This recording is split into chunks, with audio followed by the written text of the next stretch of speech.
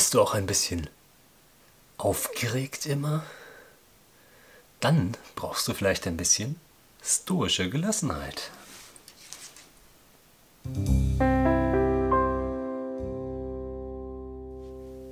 Hallo und herzlich willkommen zu Würfelwissen. Mein Name ist Jan Kuber und wir beschäftigen uns heute kurz mit der Stoa oder mit den Stoikern oder auch mit stoischer Gelassenheit. Das ist ein philosophisches Thema, was relativ viel Verwirrung hervorruft normalerweise. Also, es gibt drei große Strömungen in der Antike, die sich beschäftigen mit, wie erreiche ich eigentlich meine Seelenruhe oder meinen Seelenfrieden. Eine davon ist die Stoa oder Stoismus oder der Stoizismus oder man sagt auch die Gruppe der Stoiker, die diese Theorie, diese Lehren vertreten haben. Das heißt, es gibt hier eine Gruppe von Leuten, die waren vor allem in und um Athen aktiv, das heißt im alten Griechenland. Und ähm, ist natürlich die Frage, was haben die eigentlich postuliert? Naja, wie gesagt, es geht um Ruhe und ein zufriedenes, gesundes Leben. Und natürlich kann man das auf verschiedene Weisen erreichen. Ihr habt sicherlich auch eure Vorstellung von eurem Leben. Wie möchte ich glücklich sein? Wie möchte ich ähm, unterwegs sein? Wie soll mein Alltag aussehen auch? Und äh, die Stoiker hatten eben die Idee, dass sie mit Ruhe und Verzicht zum Ziel kommen. Ja, also, dass sie nicht rumrennen und Lust über alles stellen und die ganze Zeit genießen und futtern, bis der Arzt kommt und sich dann übergeben und weiter futtern, das gab es auch, sondern dass sie mit Ruhe und Zurückhaltung und Abfinden ähm, klarkommen. Diese drei Strömungen, die in der Antike besonders vorherrschend waren, waren die Hedonisten auf der einen Seite, die die ganze Zeit Lust verfolgt haben und gesagt haben, wir wollen so viel Spaß und so viel Genuss, auch körperlichen Genuss, wie überhaupt geht, ohne an morgen zu denken. Man würde auf Latein sagen Carpe Diem und man würde heute vielleicht sagen YOLO.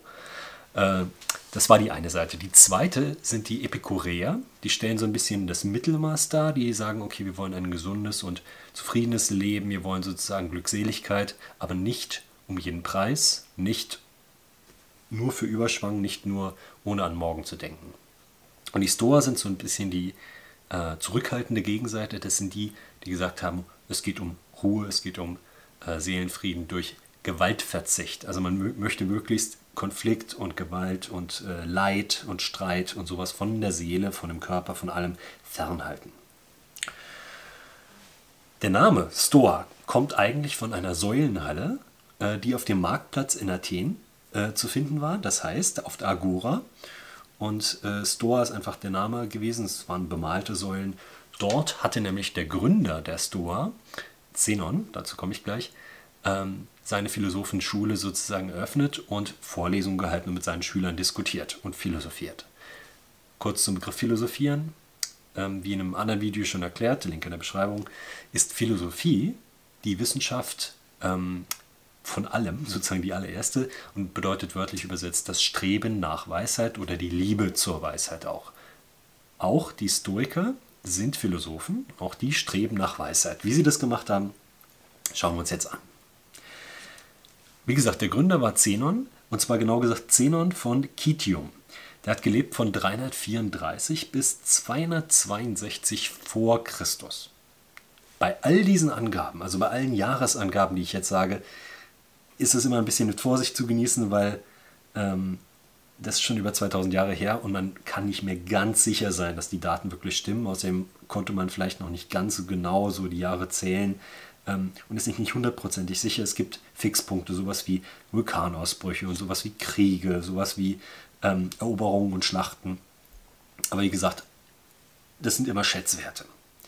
Von Zenon selbst sind uns leider gar keine Schriften mehr überliefert. Alles, was wir über ihn wissen und über die Gründung der Stoa oder der Stoiker, wissen wir von seinen Schülern ja, und von Historikern und von weiteren Philosophen, die sich mit diesen Lehren beschäftigt haben also Zenon von Kitium. Er ist geboren auf Sizilien und wanderte dann nach Athen aus, sozusagen, um in Griechenland Philosophie zu betreiben. Die Stoiker stehen in der Tradition von Aristoteles, von Heraklit, von vielen anderen Philosophen, deren Anfänge sie quasi mitgenommen haben, aber haben sich dann abgespalten und wirklich einzigartig gemacht durch die Konzentration auf Gewalt und Schmerz, Verzicht oder Entfernung von Leid von der Seele und von der Eigenbefindlichkeit. Zenon selbst war jemand, der sehr viel verzichtet hat, der also nicht unbedingt an Gelagen teilgenommen hat, der sich rausgehalten hat, wenn es an Feste ging oder sowas. Der war fast schon religiös unterwegs und tatsächlich findet man diese stoische Ruhe und stoische Gelassenheit, auch Besitzverzicht in der christlichen Religion wieder, wenn es äh, um den Streit zwischen Katholizismus und Protestantismus geht. Also darum, ob man jetzt Besitz haben darf oder nicht und ob Jesus welchen hat. Das war viel später. Die Stoa ist zuerst da gewesen sozusagen. Zenon selbst lebte den Kynismus und ähm, dieser Kynismus ist eine Lebensweise, die ähm, Wohlstand verachtet, ablehnt, den ich haben möchte, weil man sagt, mit dem Wohlstand kommen nur Probleme, kommen Sorgen, kommen Leiden und genau das möchte man ja in der Stoa ähm, von sich fernhalten. Ein ganz berühmter Vertreter oder auch der Erfinder des Kynismus ist Diogenes. Diogenes selbst ist vielleicht bekannt, über den gibt es auch noch ein eigenes Video. Ähm, Diogenes ist dafür bekannt, dass er Alexander den Großen äh, getroffen hat und Alexander der Große fragte ihn, äh, was kann ich für dich tun? Und Diogenes sagte, geh mir aus der Sonne. Ja, das wollte er. Alexander der Große natürlich als ähm, Feldherr und Herrscher und einflussreicher Mann hätte alles Mögliche machen können, aber Diogenes wollte nur seine Ruhe haben und wollte, dass er seine Sonne genießen kann. Man sagt ihm auch nach, er wohnte in einem Fass. Er brauchte nicht viel. Diogenes von Sinope begründet also den Kynismus, den Wohlstandsverzicht und auch Zenon von Kitium hat dann diesen Kynismus aufgenommen und hat den verpackt und neu interpretiert in seiner stoischen Lehre oder in seiner Stoa-Lehre, in seiner Schule, die er eröffnet hat. Die Lehre der Stoiker teilt sich in drei Bereiche, nämlich in Physik, in Logik und in Ethik. Je nachdem, wo man guckt, in welcher Zeit, ob man syrische Philosophen oder römische Philosophen sich anschaut eben, oder eben den griechischen Gründer direkt, haben die unterschiedliche Gewichte. Ja, in der christlichen äh, Religion später wird sich besonders auf Ethik und ähm, das Entsagen oder das Besitzen von Wohlstand konzentriert.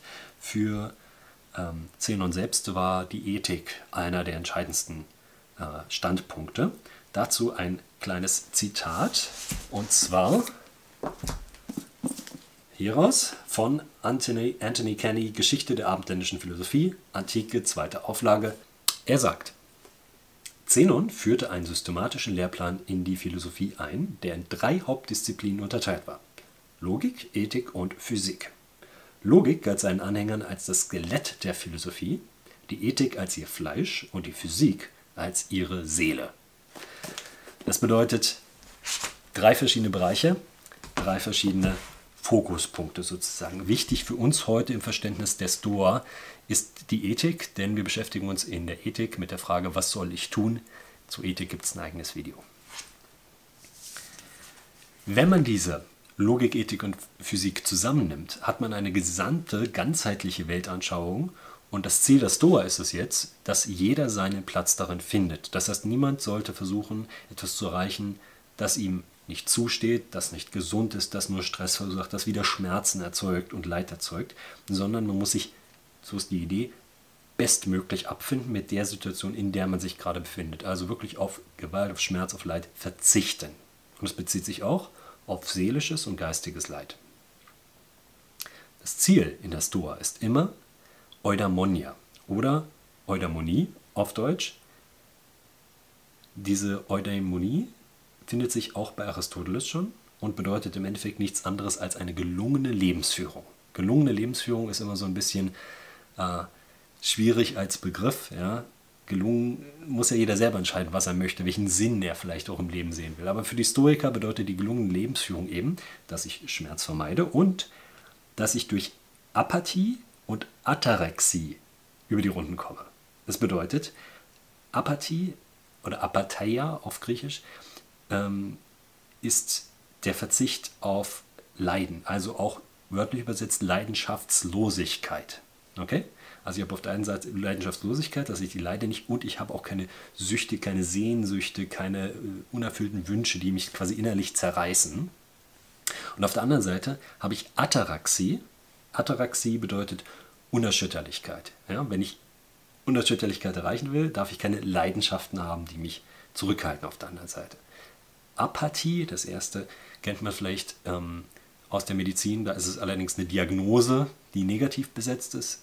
In der Stoa ist es nicht negativ konnotiert, sondern genau wünschenswert, eben diese, diese Ausgeglichenheit, diese Leidenschaftslosigkeit zu haben. Es gibt da ähm, die Idee von Marc Aurel, die Formulierung, eine, ähm, ein Fels in der Brandung, an dem das Wasser sozusagen immer zerschellt, aber er bleibt stehen und ist solide und lässt sich nicht bewegen durch äußere kleine Einflüsse und äh, momentane Impulse sozusagen.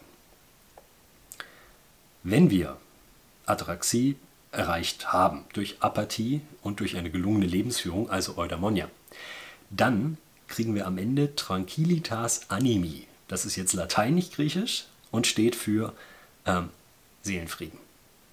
Das heißt, das Ziel des gelungenen Lebens bei den äh, Stoikern selbst ist die, Seelen, die Seelenruhe oder der Seelenfrieden am Ende. Das heißt, das ist das gute Leben selbst, die, die Ruhe der Seele als Lebensinhalt.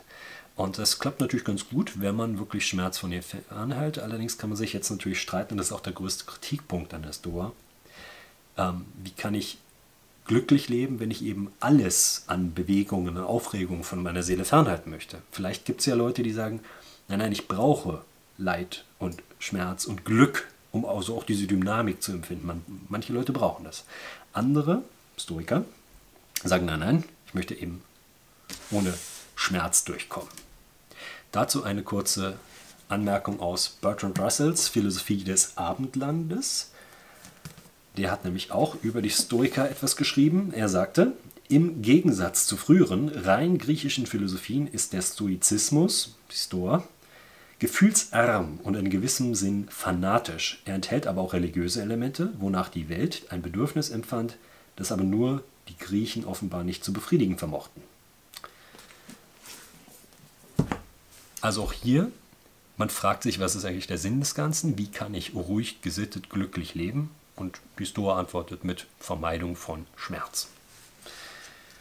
Wenn wir jetzt also diese ganze ruhige Seelen-Lebensanschauung erreicht haben, dann ist natürlich auch so ein bisschen die Frage, äh, was machen wir dann weiterhin? Und da ist anzumerken, wenn wir ruhig und gelassen sind, können wir klar denken, können wir rational denken. Ratio war der Verstand.